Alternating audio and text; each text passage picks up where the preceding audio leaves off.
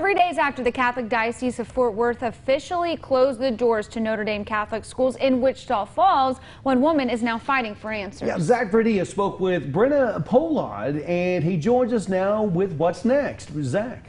Well, guys, she's going to start the appeal process to the diocese on their decision to close both schools. And she admits this wasn't an easy decision for her to make but she says the lack of clear answers from the whole situation and her love for the Notre Dame community is what's driving her.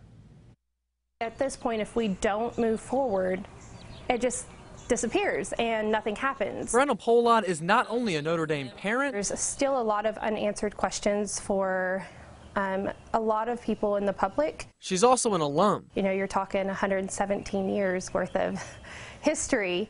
Um, you know, hundreds of families.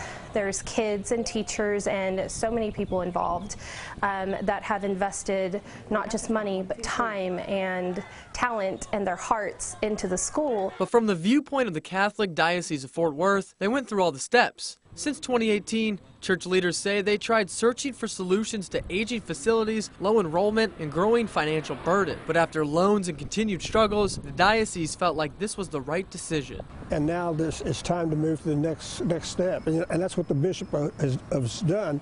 He's asked uh, the uh, superintendent to form a, a, committee and begin a st strategic planning process where how do we continue Catholic education in the northwest deanery of which Wichita Falls. For Pollard, she feels the town halls and meetings were not widely publicized, even as an involved member of the parish. She knows as some families try to heal and move on, the appeal may hinder that, and for that, she apologizes. I've really had to do some praying and discernment to figure out if what I'm doing is going to be more detrimental or if in the long run it's going to help more.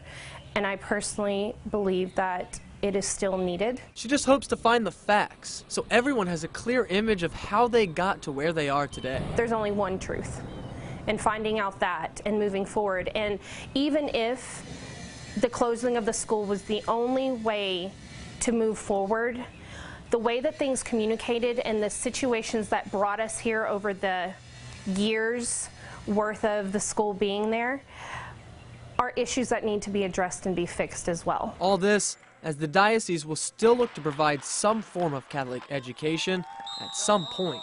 Notre Dame touchdown! We're looking for high Catholic education, what, what the future is, what's, what's the next next step here, and that that'll, that'll, that's in progress already, and so down the road we'll have a, an answer to that. And moving forward for the fight to save Notre Dame, there's one thing that stands above all else. There are a lot of things on both sides of the appeal that contradict each other, and finding out those truths is probably the most important part. We reached back out to the diocese today for an updated comment on that appeal, but did not hear back. And that meeting will take place next Monday, the 31st at 6 o'clock p.m. at Clink. Okay, Zach, thank you so much for that story, and I know you'll be following this. Now, Pollard also has a Facebook page. It's called Always ND, Always True to follow along with the appeal process. Now, those for or against are welcome, and you can find all those details, of course, inside the story on our website.